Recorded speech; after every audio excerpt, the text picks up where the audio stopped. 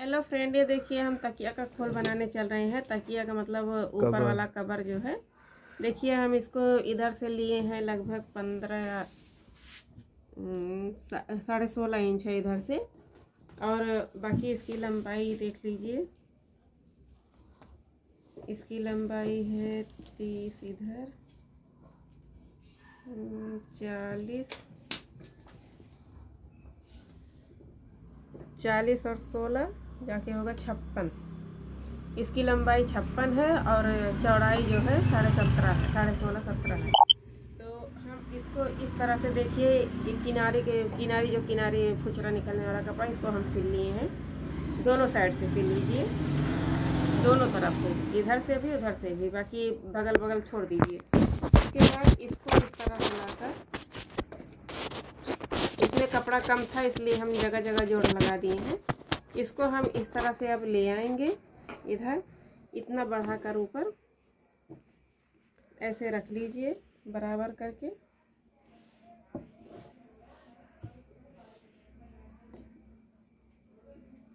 अब इसके बाद देखिए, इधर जो कपड़ा बाहर हम निकाले हैं, लगभग इसका है छः छः या साढ़े छः इंच।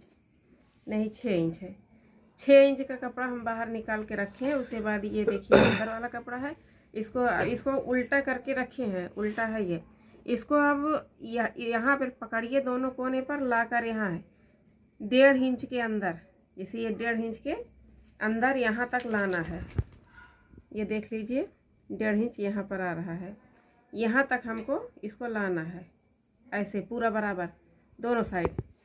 देखिए, दोनों साइड बराबर करना है, इस तरह से, डेढ़ इंच इधर, डेढ़ इंच इधर।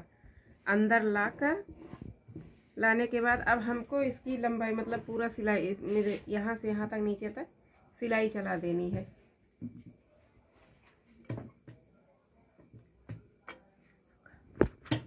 चलो तो देखिए अब दोनों साइड हमको सिलाई चला लेनी है दोनों तरफ़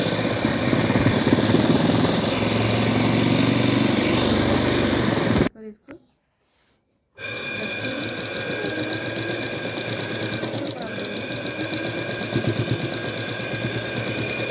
लास्ट में लाकर यहाँ पे कर है, ऊपर के साइड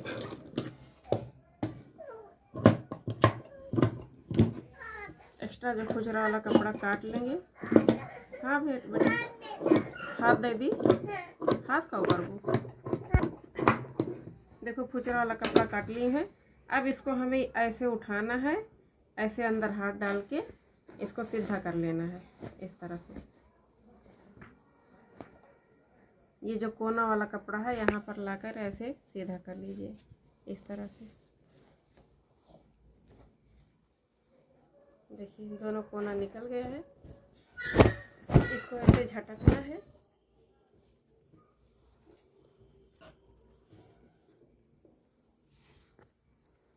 कोना नहीं निकल रहा है तो सुई की सहायता से आप निकाल सकते हैं। देखिए, इस तरह से कितना बढ़िया कोना निकल गया।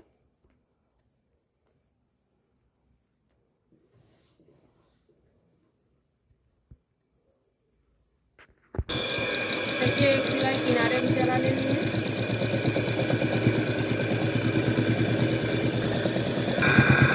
देखिए, दोनों तरफ़ सिलाई चलाना है, किनारे किनारे। ये सिलाई पक्का करने के लिए, ताकि मज़बूत हो जाए।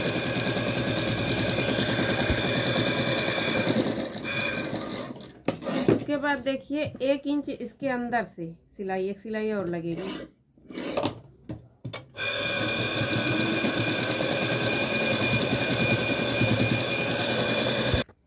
देखिए यहाँ कोने पर लाकर इस तरह से मोड़ देना है सुई अंदर करने के बाद।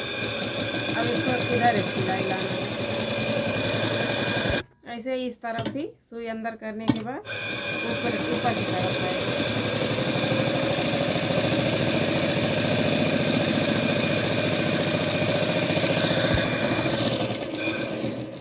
ये देखिए रेडीमेड तकिया की तरह तैयार हो गया है। पूरा एकदम। Readymade pillow cover.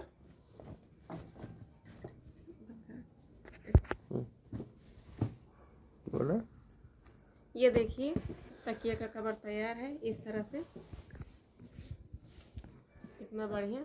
इस पर आप पेंट भी कर सकते हैं, प्रिंट भी कर सकते हैं, कढ़ाई भी कर सकते हैं, बहुत अच्छा लगता है। ये तो प्लेन कपड़ा है, देखिए। Okay, thank you, bye bye. हमारा चैनल सब्सक्राइब और शेयर कर दीजिएगा। और दीजिएगा।